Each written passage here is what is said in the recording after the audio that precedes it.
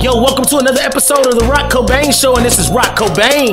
Today we're going to talk about Rickey Smiley as he shares that he lost his son Brandon Smiley at the age of 32 years old.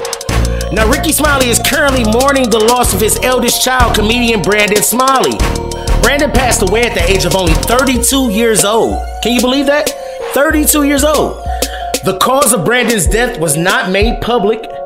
In addition to the radio personality, he is also survived by his daughter Storm, who's only three years old, his mom Brenda, his brother Malik, 21, and his sisters D'Essence and Aaryn. For me personally, I feel like this situation is tragic. Of course, they're not saying how Brandon lost his life, but it's up to speculation that Brandon actually committed suicide. There's also other speculation that Brandon died from an overdose of fentanyl.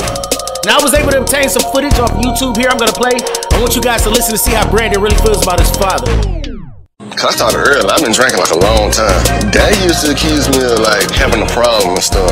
And he used to make me mad. And I used to lash out at him. Like, I ain't got no problem. Like, I'm good. Like, I got it under control. I got it under control. But in actuality, I didn't have it under control. I was real sick. And I had called dad one day and I had just broke down to him. I was just like, I can't do this no more. I got a problem. Then dad just like stopped whatever he was doing and he got me in rehab. Like he really helped me with that. Cause I was on my way to either going to jail again or dying. Yo, that's crazy. So, until we find out or until the family releases exactly what happened, this is all speculation. This is all speculation, okay? None of this has been proven, okay? So these things are allegedly or assumed. All right, but what I do know is watching over the years, watching Rickey Smiley and Brandon's relationship, it's very sad to see a father with so much prominence and so much uh, presence in the entertainment industry, not able to help his son become what his son wanted to be most. Brandon was a struggling comedian. I don't know if any of you guys this or if you follow Brandon, but Brandon is a struggling comedian. He wanted to be just like his father. He even went on the TV shows. I don't know if you guys remember the old Rickey Smiley show, the TV show. Uh, Brandon was a part of that show, and he really wanted to be just like his father growing up. He always wondered why his father did not allow him an opportunity on his show or give him, you know, an opportunity to open for him, or his father did nothing for him to help him in the industry. Everything that Brandon had to do, he had to do it on his own. Now, as myself, a son of an entertainer, I can understand how that feels because you just want them to give you a chance. You say, hey, help me.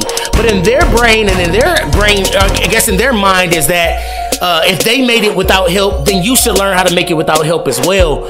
You know, but when you get to a certain plateau of someone as a Rickey Smiley or someone on that level, um, you know, it's a little easier for you to open a door and it's a little harder for your child to make it to that level on his own.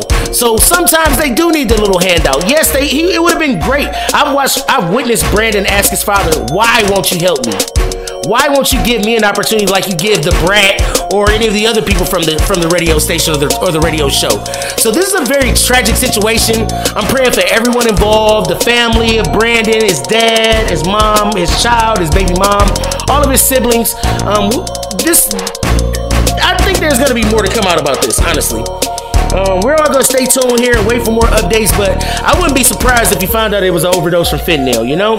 So again, I'm praying for everyone involved. You guys leave a you like, subscribe, and leave a comment down. If you disagree with my uh, what I said or if you agree, it don't really matter. Just leave some down in the comments to let me know and help me out the algorithm. All right, y'all stay tuned. Next episode on the way. Neighborhood Six rolling.